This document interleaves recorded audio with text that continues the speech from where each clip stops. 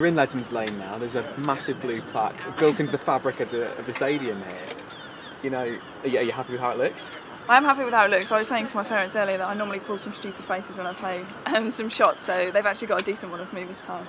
Um, but no, look, um, it's there. It's not going anywhere, and um, I will walk past it with complete pride. And um, and I've said before, the names that are uh, next to me are just incredible. So yeah, it's just very proud. And there are some big names down there, you know, legends of Sussex cricket. Um, who are you most excited about sharing the wall with? Um, I'm not going to lie to you. Tony Greig was. I just didn't realise he was. I didn't even know this existed. So to actually just walk past and see some of the names on them was just fantastic. But no, look, I love the fact that I'm next to Luke Wright. That's pretty cool. And uh, yeah, Tony Greig's pretty special. Brilliant. I mean, you're in the fabric of, of the ground here, and of the of the many matches you've played here for Sussex. You know, what's what's been the highlight so far of your Sussex career? Well, look, I think, funnily enough, my most fondest memories of me playing as a kid. Um, playing here, I think, when I was maybe 14, 15, and, and playing along the likes of Clare Connor and her kind of leading the way and probably developing me as a person and into who I am now. And um, look, I think T20, the girls won at T20s this year, and I'd like to say I had something to do with it. I did play in the early part of it, but they went on and did fantastically well. So I think probably a highlight for me is, is watching this the young girls come through um, and really stand up and, and show what they're made of, and um, and that's brilliant for Sussex, I guess. Absolutely, and you, you, mentioned you've been whisked away. I mean, you've not just been whisked away; you've been whisked away to the Ashes, um, and obviously tonight, um, in Australia, with you hopefully playing a key role. Um, I mean, what, what are your thoughts ahead of the game?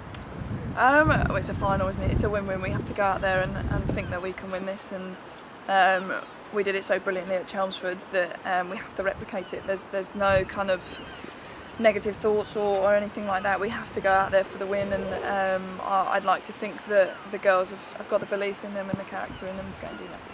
And what what do you what specifically do you need to do out there? Um, you know, what, what what needs to be done without giving the game away, of course. What needs to be done to beat Australia?